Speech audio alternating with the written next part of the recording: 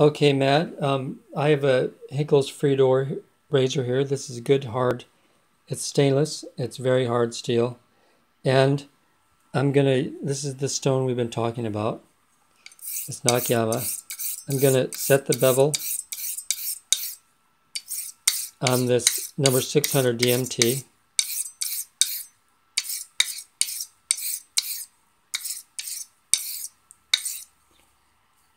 These are uh, nice little plates for light work. And the steel feels good under on that stone because you get such a positive contact.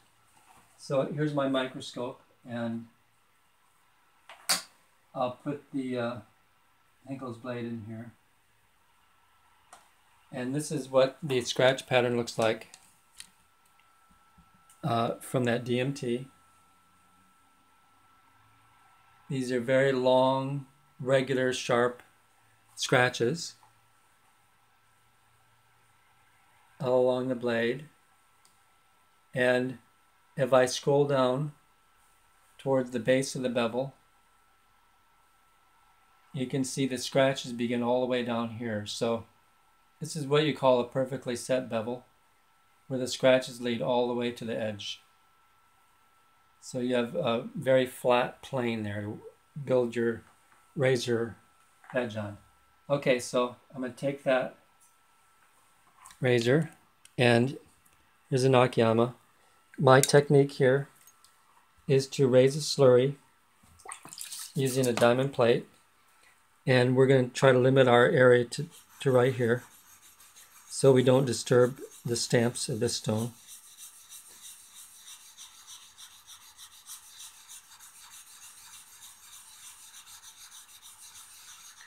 And this is requires a certain amount of skill to work in such a small area, but you saw the scratch pattern um, from the DMT.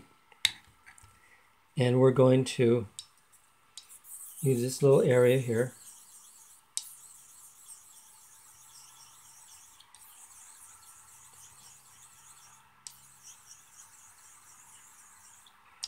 You can see the change in the color of the slurry. It's a super fast cutting stone.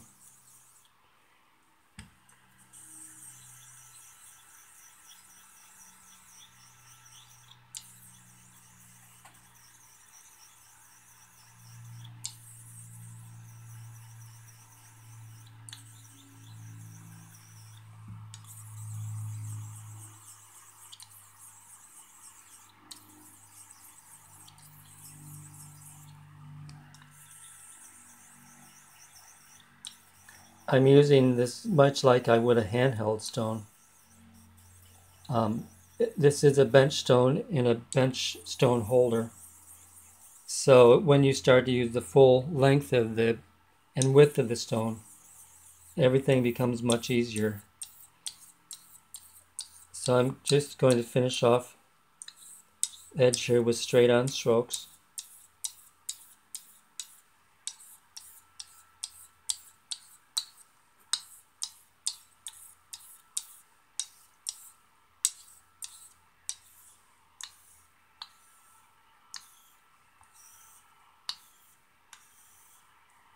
Okay.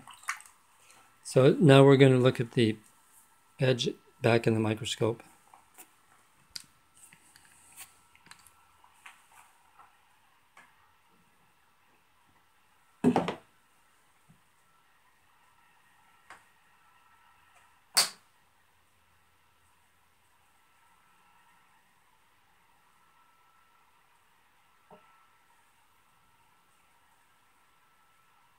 Okay, so we're, what we're trying to illustrate here is the cutting speed and the fineness of the Nakayama. Here's what the edge looks like. You can see what is could have been a scratch there from the DMT, which is really more just like a shadow now. But the edge has become nicely refined and there's a good overall, what they call kasumi or hazy type finish on the razor. So the next thing we're going to do, and this um, is another proof of the quality of the stone. is I do have a, a strop here. And I'm going to use a little bit of linen. This is, it's not a pasted strop. There's no added uh, grit or anything to this strop. This is a interesting strop. I've been using it for quite a few years. And it's marked shell horsehide, price $3.50. Uh, from the price, and down here it says um, number 63, uh, Brooklyn, New York. I think that's probably the retail. Anyhow, it's just a good old fashioned uh, top grain strop.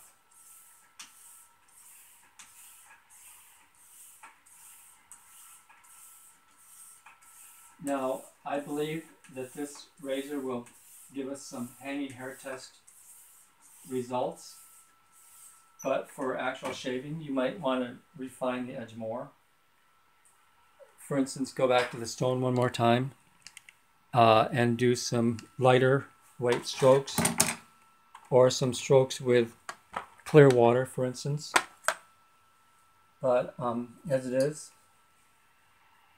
I'm illustrating the cutting power of the stone as much as anything. I have a piece of hair here. And that just laid down. Let me turn on the light here.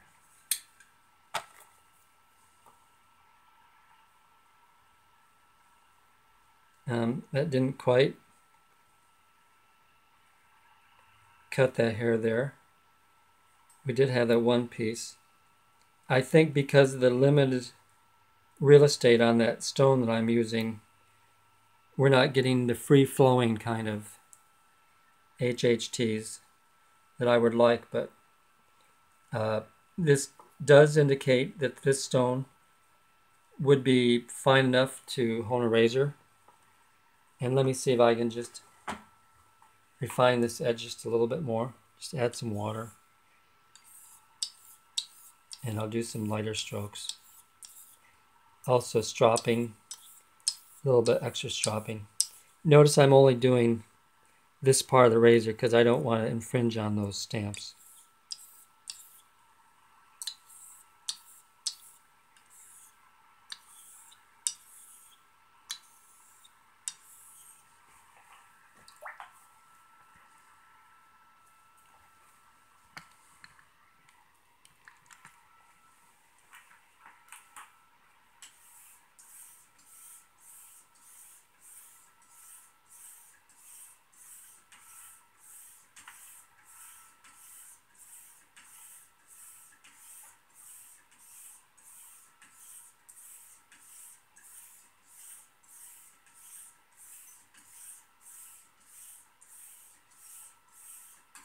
Do about 20 strokes or whatever.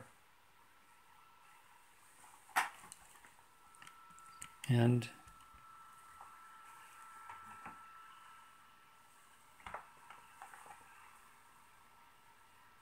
here's my hair sample again.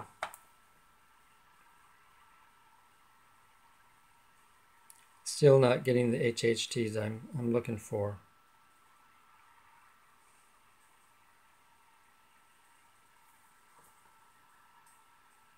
That was better. I turned the hair around. This is um, root in. I was using root out before. But um, with the root in, it's getting a better cut here. Uh, ideally, uh, you can get HHT root in or out. But, um, I mean, here I'll hold the hair about an inch away from the razor and and get a cut there. So, so that's just one example. Um, there are ways to uh, to use a stone so you can get a little bit better results. I'm not a, a real expert at honing, but I'm just demonstrating the qualities of the stone.